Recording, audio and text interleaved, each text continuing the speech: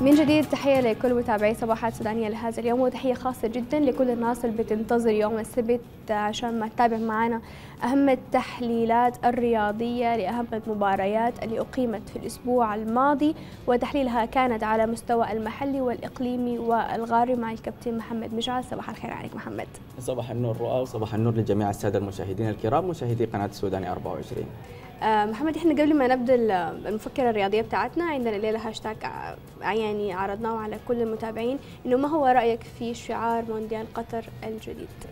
نعم يعني بكل تأكيد يعني هو الشعار علامة infinity يعني الإبداع لا حدود له بالنسبة ل يعني الرياضه القطرية التي كان لها رؤية واضحة استطاعت من خلالها أن تتوج بعديد البطولات.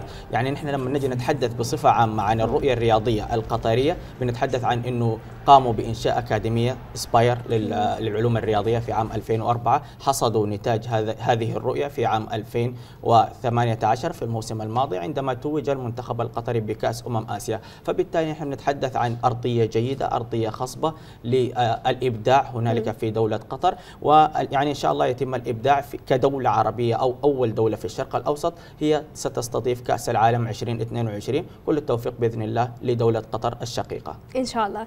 آه نبتدي مباشرة. المفكرة الرياضية ونبدأ بمحليا على المستوى المحلي. المنتخب القومي الذي تغلب على مضيفه التشادي بثلاث أهداف لهدف.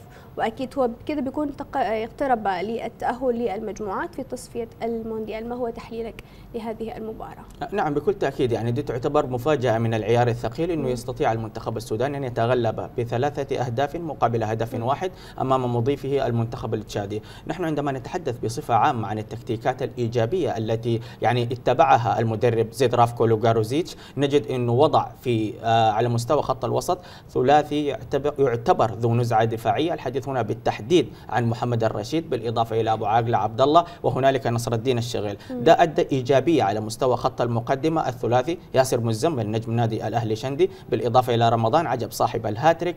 وأيضا هنالك النجم أحمد حامد التش.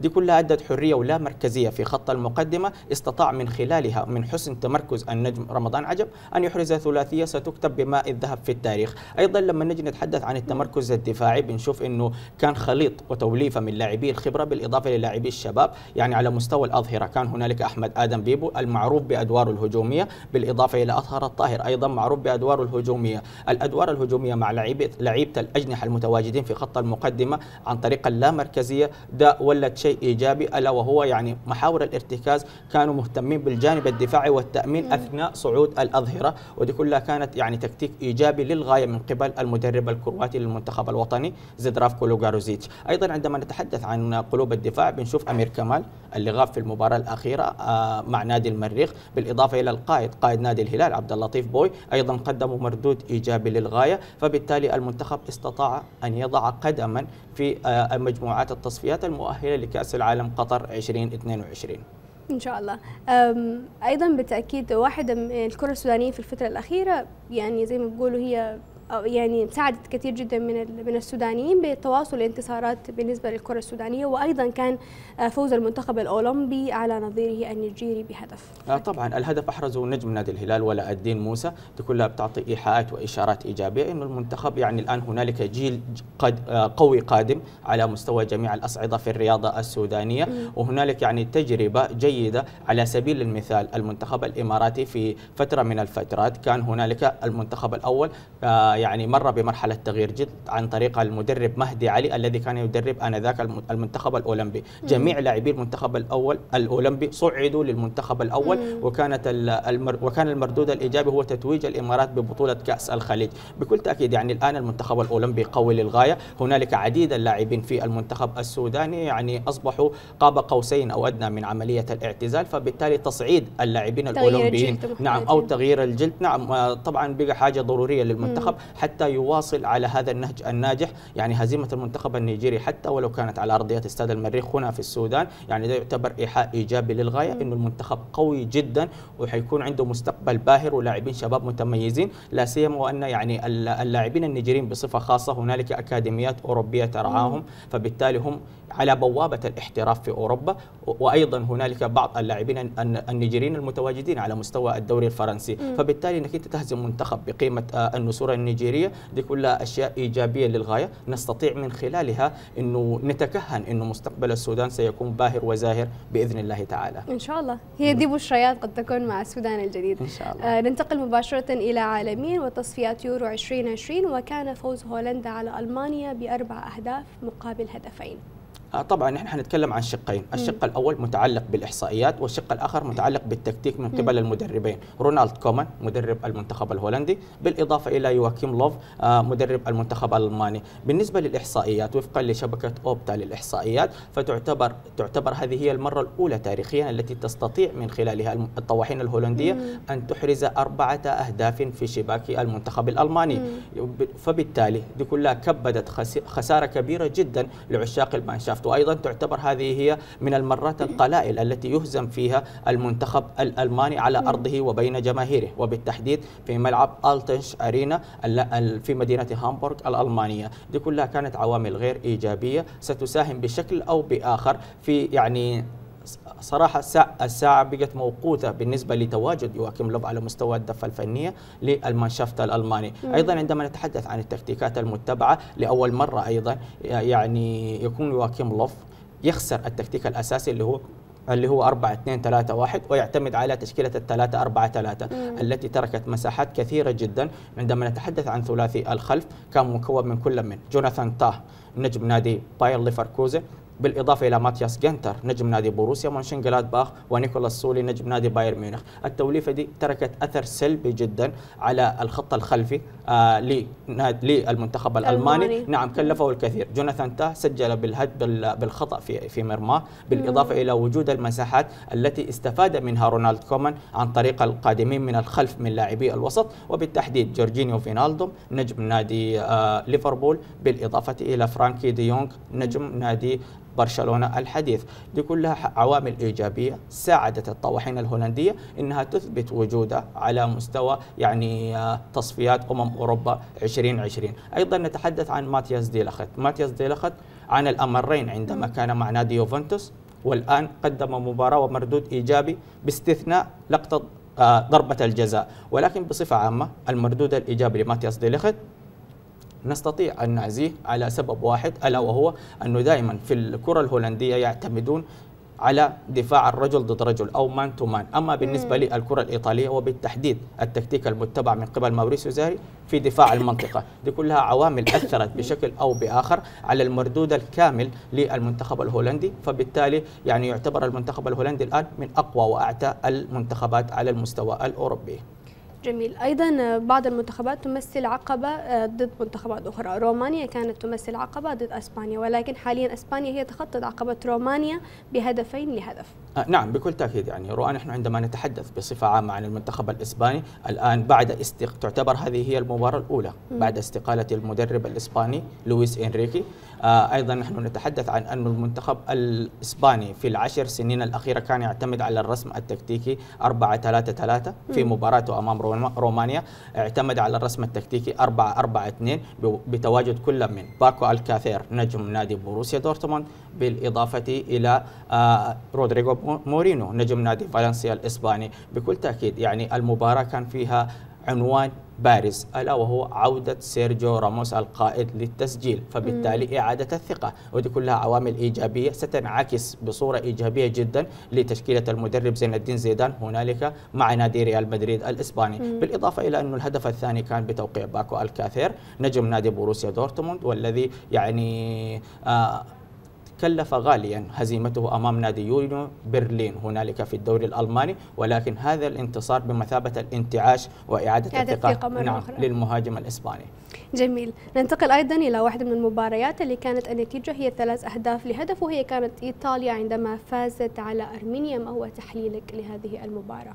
نعم بكل تأكيد. يعني نحن عندما نتحدث عن انتصار المنتخب الإيطالي، المنتخب الإيطالي بقيادة روبرتو مانشيني يقدم العديد من النتائج م. الإيجابية، آخرها هي إعادة أيضا الثقة للنجم آه نجم نادي تورينو أندريا بيلوتي الذي استطاع أن يحرز هدفين، فيما أحرز الهدف الثالث نجم نادي آه روما لورينزو بلغريني، أيضا نحن نتحدث عن الجانب جانب خط الوسط. ماركو فيراتي بالإضافة إلى ستيفانو سينسي استطاع أن يقدم مباراة متميزة للغاية عن طريق التغطيه الخلفية، مساندة الخط الخلفي، اللعب على الوتر الهجومي، دي كلها كانت عوامل إيجابية استطاع من خلالها المنتخب الإيطالي أن يتغلب بثلاثة أهداف مقابل هدف واحد أمام المنتخب الأرميني، أيضا نتحدث عنه عن إنه يعني المشكلة مشكلة التنقل لقائد المنتخب الأرميني هنريك مختيريان كان في الأسبوع الماضي في العاصمة البريطانية لندن انتقل بعض بعدها إلى نادي روما وبالتحديد كان في العاصمة الإيطالية روما والآن ذهب إلى العاصمة الأرمينية يريفان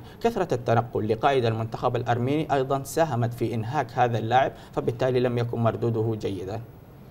اليوم إن شاء الله يقود كريستيانو البرتغال ضد صربيا فما هي توقعاتك لهذه المباراة التي سوف تقام ما بين البرتغال وما بين صربيا نعم يعني تعتبر يعني المنتخب الصربي للأمانة يعتبر منتخب جيد. لديه العديد من النجوم الزاخرة من أمثال نجم نادي لاتزيو الإيطالي سيرجي ميلينكوفيتش سافيتش. أيضا على الدفة الأخرى يعني نادي المنتخب البرتغالي بقيادة فرناندو سانتوس هو المنتخب الذي توج مؤخرا بدوري الأمم الأوروبية فبالتالي ليس لديه ما يخسره في هذه البطولة لأنه already ضمن أنه سيتواجد في مونديال 2020 أيضا سنتحدث عن أنه في الغالب فرناندو سانتوس سيجرب عديد اللاعبين من أمثال أندرياس سيلفا المهاجم الذي انتقل حديثا إلى نادي أينتراخت فرانكفورت الألماني.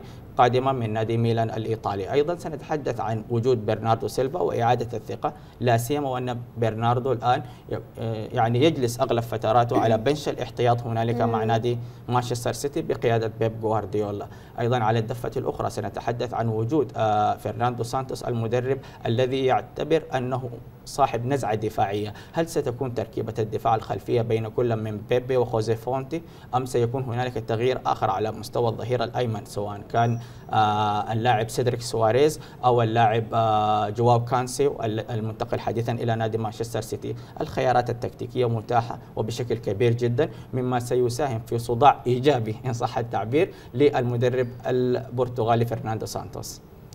بالتوفيق بالتأكيد. وهنالك مباراة اللي هي كانت لعبة ودية ما بين البرازيل وما بين كولومبيا.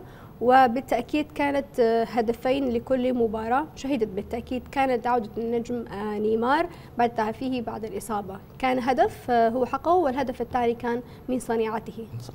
طيب عندما نتحدث عن المنتخب البرازيلي وبالتحديد عن النجم نيمار دا سيلفا نيمار دا سيلفا الآن يعاني العديد من الضغوطات. الضغط الأول كان هل سينتقل إلى نادي خارج نادي بي إس جي أم لن ينتقل؟ الضغط الآخر القضية الأخلاقية التي اتهم بها اللاعب. والضغط الثالث كان هو كثرة إصابات اللاعب. فبالتالي وهنالك أيضا ضغط رابع إنه هو مثل في شبكة نتفليكس تبع مسلسل لا كاسا دي بابل الآن مم. الذي يعتبر فوق 20 مليون مشاهدة فبالتالي دي كلها كانت بتقول إنه مؤشرات تقول بأن نيمار اقترب من عالم التمثيل أكثر من عالم الرياضة مم. وكرة القدم فبالتالي نحن بنتحدث عن مسلسل إيراداته ما يقارب ال 2 مليار يورو مم. من أول عرض فبالتالي دي كانت كلها علامات إيجابية إيجابية. بالنسبة لنيمار فبالتالي الآن هي تعتبر هذه هي المباراة الأولى لنيمار في هذا الموسم منذ فترة طويلة جدا استطاع أن يعني آه، يقدم أداء إيجابيا للغاية حيث استطاع أن يصنع آه، يصنع هدفا ويسجل الهدف الآخر. الهدف الذي صنعه كان من ضربة ركنية